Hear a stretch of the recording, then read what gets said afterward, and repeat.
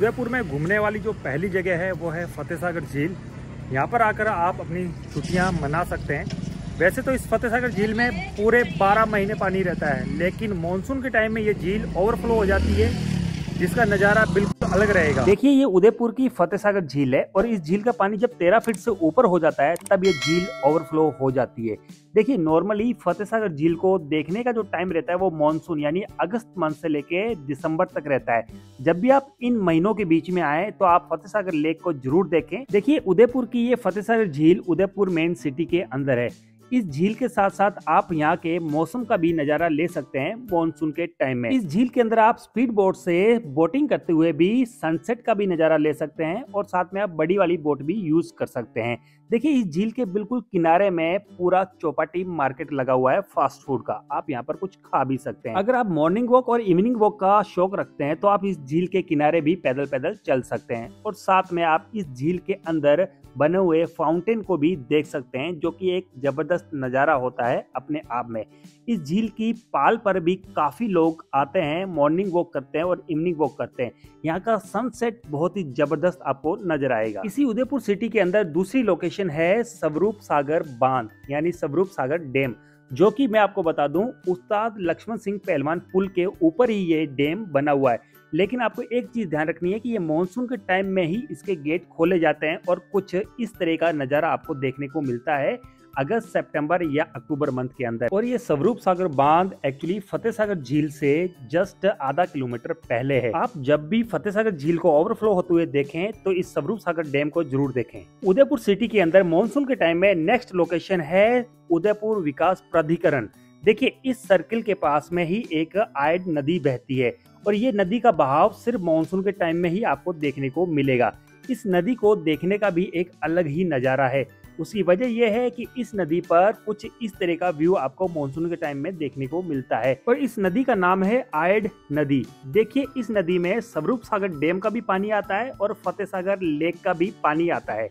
अब बात करते हैं नेक्स्ट लोकेशन की, जो कि उदयपुर से कुछ ही किलोमीटर की डिस्टेंस पे है, वो है रायता हिल्स देखिए, मैं आपको इस वक्त रायता हिल्स के बारे में बताऊँगा, लेकिन ये लोकेशन सिर्फ़ और सिर्फ़ मानसून के टाइम में ही आपको देखनी चाहिए।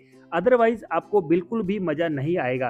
देखिए, आप जब भी उदयपुर प्लान करें तो अगस्त मंथ सितंबर मंथ अक्टूबर या नवंबर मंथ के अंदर तो आप एक बार रायता हिल्स को ज़रूर देखें, जो कि उदयपुर से लगभग 15 से 18 किलोमीटर की डिस्टेंस पे है। यहाँ पर आपको मौसम कुछ इस तरह से दिखाई देगा, यानी कि बादल बिल्कुल हिल्स के ऊपर आ जाते हैं, और आपको जुलाई मंथ में ही या अगस्त मंथ में ही फोग जैसा नज़ारा ज़मीन पर देखने को मिलता है। इस जगह पर आपको चारों तरफ़ अरावली की पहाड़ियाँ एकदम हरी भरी नज़र आएँगी और जिक जैक रास्ता भी आपको नज़र आएगा मानसून के टाइम में। कुछ इस तरह का व्यू बनता है। लेकिन जब भी आप आए, आप अपने साधन के साथ आए, या तो आपके पास टू व्हीलर होनी चाहिए, या फिर फोर व्हीलर होनी चाहिए। जैसे आप रायता हिल्स की तरफ़ आते हैं तो मैं आपको बता दूँ, अरावली की पहाड़ियों को जिग जग रास्ते को क्रॉस करने के बाद आपको रायता हिल्स के टॉप पर आना है, जहाँ पर आपको तीन चार दुकानें और कुछ फोर व्हीलर या टू व्हीलर दिखाई देंगी। यहाँ पर आप रुक कर फोटोग्राफी वीडियोग्राफी कर सकते हैं और रास्ते का नज़ारा भी ले सकते हैं। फिर यहाँ से आप कुछ ही दूरी पर दूसरे हिल्स या दूसरी पहाड़ियों की तरफ़ जा सकते हैं, जहाँ पर आप पैदल ट्रैकिंग कर सकते हैं और वहाँ के नज़ारे को भी देख सकते हैं मानसून के टाइम में। ये सारी अरावली की पहाड़ियाँ हैं, जहाँ पर आप पैदल ट्रैकिंग कर सकते हैं, पहाड़ों के नज़ारे ले सकते हैं और यहाँ पर मानसून के टाइम में छोटे मोटे झरने भी स्टार्ट हो जाते हैं, नदियाँ भी चलने लग जाती हैं, जहाँ पर आप पैदल चलकर कुछ इस तरह से नज़ारा ले सकते हैं। अब बात करेंगे उदयपुर की नेक्स्ट लोकेशन और वो है अलसीगढ़। अलसीगढ़ उदयपुर मेन सिटी से लगभग 25 से 28 किलोमीटर की डिस्टेंस पे है। मैं आपको बता दूँ, ये अलसीगढ़ का व्यू है, जहाँ पर आपको अलसीगढ़ डैम भी दिखाई देगा, जहाँ पर आपको एनी टाइम पानी नज़र आएगा। साथ में मैं आपको बता दूँ, आपको अलसीगढ़ का झरना भी देखना बहुत ज़्यादा ज़रूरी है। ये झरना मानसून के टाइम में ही ओवरफ्लो होकर आपको दिखाई देगा। और साथ में आप ट्रैकिंग कर सकते हैं, यहाँ पर आप झरने के व्यू ले सकते हैं और यहाँ पर आप पिकनिक भी मना सकते हैं। देखिए, रास्ता कुछ इस तरह सा रहता है, दोस्तों के साथ आए तो आप बाहर खाना वाना बनाकर पिकनिक भी मना सकते हैं सेलिब्रेट कर सकते हैं। मानसून में पानी ज़्यादा आने से नदियाँ और झरने स्टार्ट हो जाते हैं, इसलिए यहाँ पर अलसीगढ़ में व्यू बहुत ज़बरदस्त बन जाता है, क्योंकि यहाँ पर जगह जगह पानी जगह जगह नदियाँ स्टार्ट हो चुकी होती हैं, और यहाँ पर काफ़ी अच्छी हरियाली होती है मानसून के टाइम में।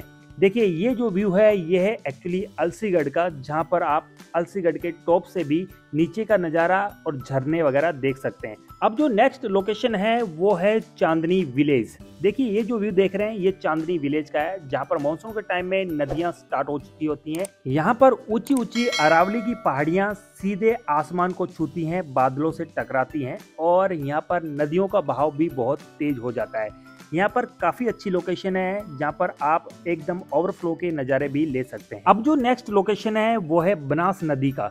देखिए, मैं आपको बता दूँ, उदयपुर से लगभग 45 किलोमीटर की डिस्टेंस पे है बनास नदी। हम लोग नदी के अंदर कम से कम दो तीन घंटे नहाए हैं और फुल एंजॉय किया है। अगर आप लोगों को भी इस जगह पे आना है तो उदयपुर से कुछ ही किलोमीटर की डिस्टेंस पे है। उदयपुर कुंभलगढ़ रोड पे ये बनास नदी। बस यहाँ पर मानसून के टाइम में पानी आ जाता है, नदी में ओवरफ्लो हो जाता है। और शानदार व्यू बन जाता है। देखिए, इस बनास नदी के बाद अब मानसून के टाइम में उदयपुर में घूमने वाली जो नेक्स्ट लोकेशन है, वो है बागेरी का डैम बागेरी का नाका। देखिए, ये भी कुछ किलोमीटर की डिस्टेंस पे है उदयपुर से। और इस बागेरी के डैम के बाद बनास नदी आती है तो आप ये दोनों चीज़ एक साथ देख सकते हैं, एक ही दिन के अंदर। ये जो आप डैम देख रहे हैं, ये एक्चुअली बागेरी का नाका है। उदयपुर से कुछ ही किलोमीटर की डिस्टेंस पे है। आप इस डैम को भी छलकते हुए देख सकते हैं मानसून के टाइम में। उदयपुर से कुछ ही किलोमीटर के डिस्टेंस पे है अमरचंदिया तालाब। अगर आप उदयपुर घूमने आए हैं तो इस तालाब को ज़रूर देखें। मानसून के टाइम में ये तालाब ओवरफ्लो हो जाता है।